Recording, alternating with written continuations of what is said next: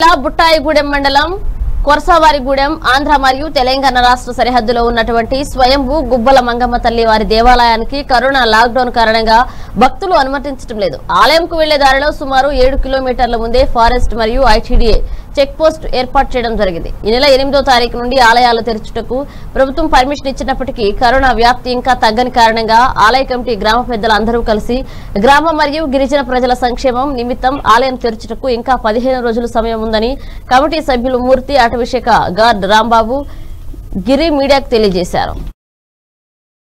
ఆలయంని అప్పటి నుంచి మూసివేసే జరిగింది. అప్పటి నుంచి భక్తులకి ఎవరిని కూడా అలౌ చేయడం లేదు. అదేవిధంగా రేపు ఎనిమిదో తారీఖు నుంచి ఆలయాన్ని ప్రభుత్వం తెరవాలని చెప్పడం జరిగింది.